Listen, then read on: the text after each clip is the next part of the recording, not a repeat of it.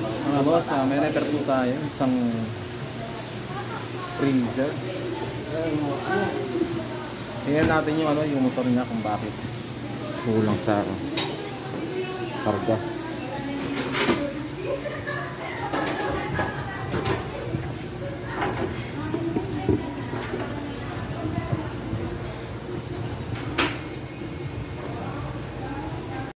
Sasaksa ko lang.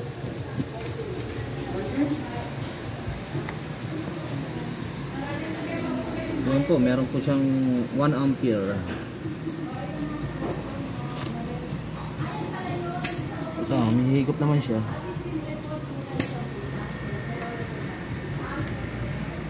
Okay naman yung motor. Ang gagawin na lang natin, ah, magpapalit na lang tayo ng ano, ng filter. Saka ipa-flashing na lang natin ng freon. So lalagyan, lalagyan ko lang muna ng ano, access valve. Ah, dito guys, pinutol ko yung filter. Ayan. Nakakabit ko itong ating access valve. Ititest natin kung merong ah, pressure kung wala bang leak tong ating motor compressor. Kasi may laman naman siyang freon pero ayaw uminit yung discharge niya. So titingnan muna natin kung may ah, good good itong ating motor compressor. Hinahin ko lang 'to muna.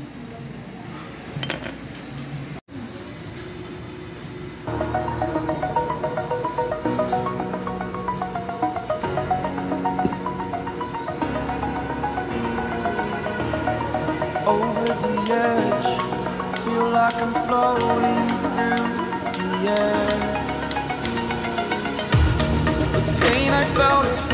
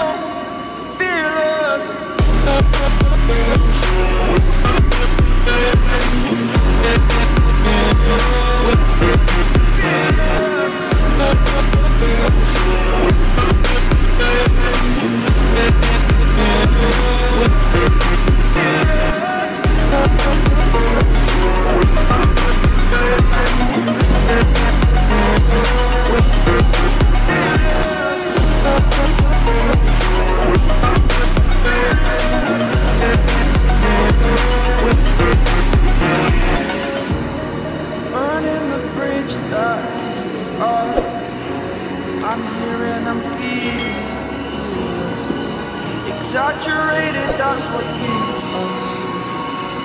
The story's over now. I must conclude. I am conflicted, watching where I step still, hanging in the balance. Not the life I want to live. I want to take it all, standing tall. Fear I weighed the person you are.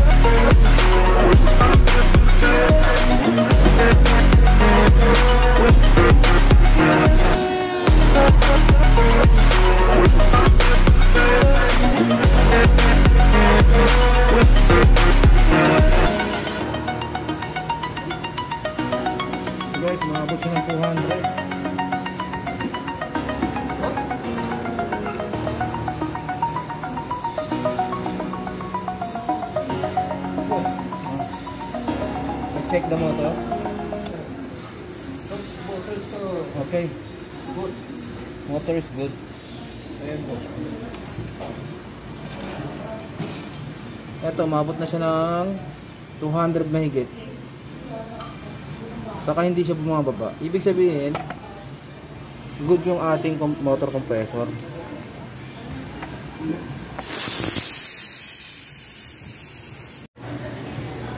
Ah, guys, flashing muna tayo. Ito, ah, may karga. Naglagay ako ng hose dito sa access valve. Papunta sa motor. Kakargahin natin. Andarin muna yung motor. Pasaksak muna. Yun guys, mandar na siya. Ayan o. Oh. Meron na o. Brushin lang natin. Oh, tigas. Yun.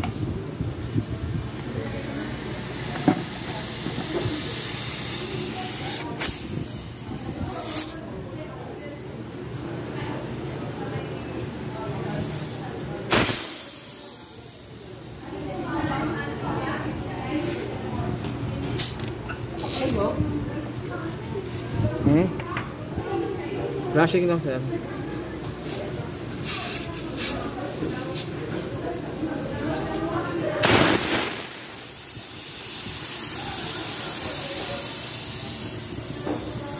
Yun lang guys, pagka-flashing.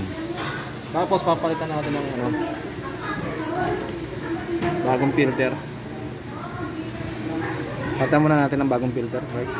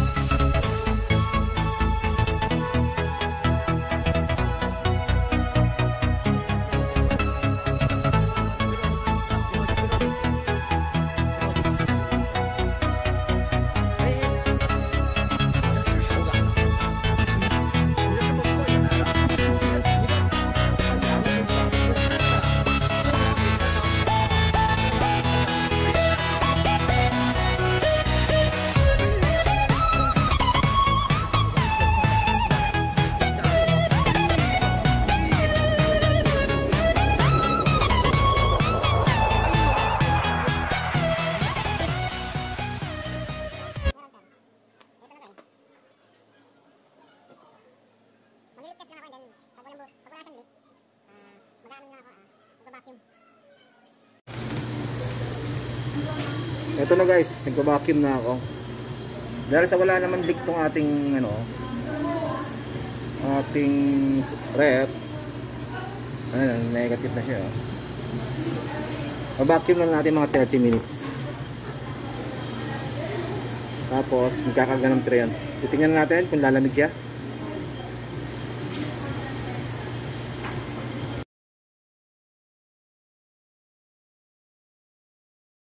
Ito na guys, naka 30 minutes na tayo ng vacuum. I-off ko lang itong, isasara ko lang itong valve niya. Para walang pumasok na hangin.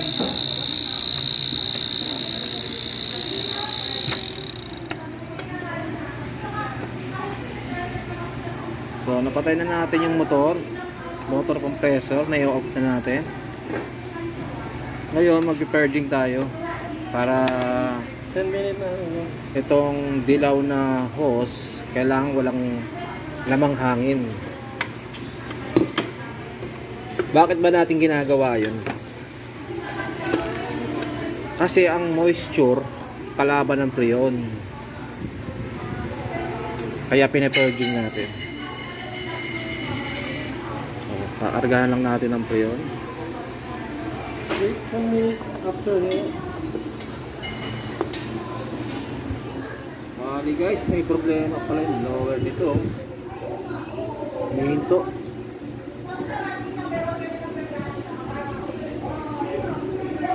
Tanggal. Patay? Tanggal tama na. Okay. Kaya, yun ko yung ano nyo. No, Malamig na eh. malamig, malamig na yung ating ano, evaporator. Eh no, lamig oh. Ang problema niya, yung pan motor.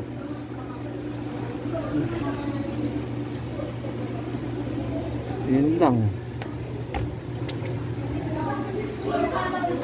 Ano ko yung karga?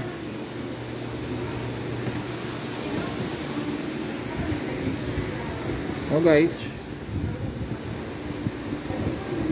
Ayan.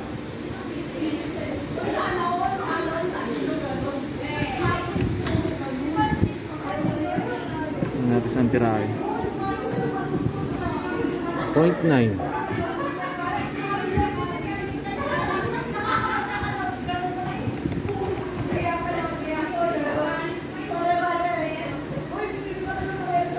So nasa 15 15 Bawas tayo guys, mataas to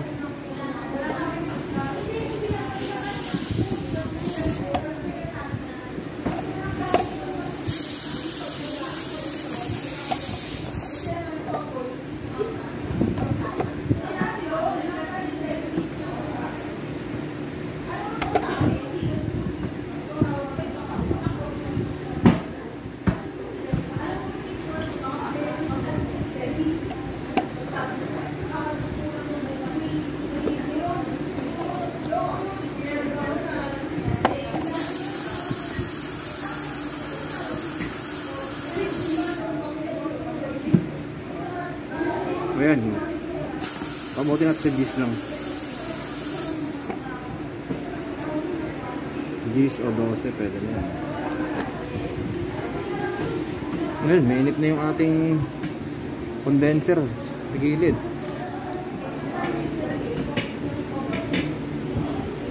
Okay guys.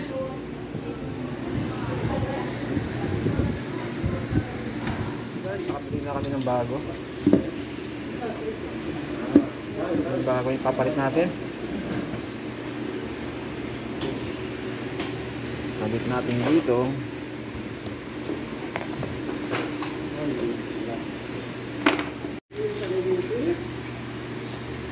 Nakakabit na natin yung ating pan.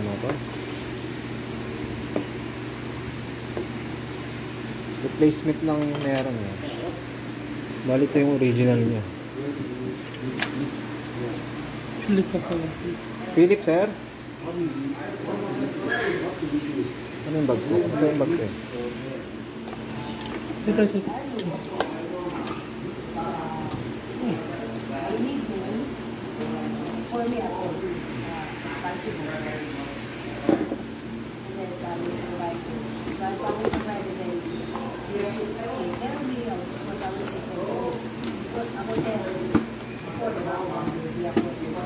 Wow.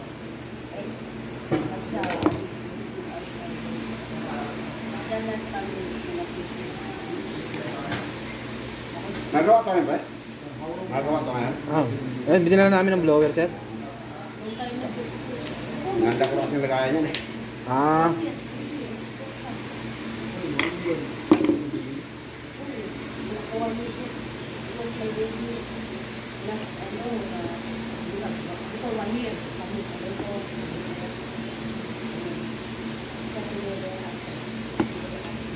Tama, mga ka-idol.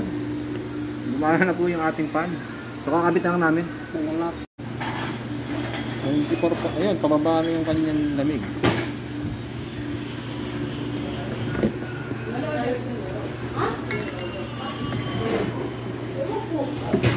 Malamig na. O yun lang guys. Okay na yung ating rep.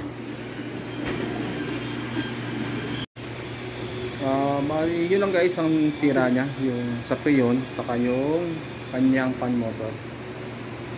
So guys, hanggang dito na lang po yung video natin. Maraming salamat.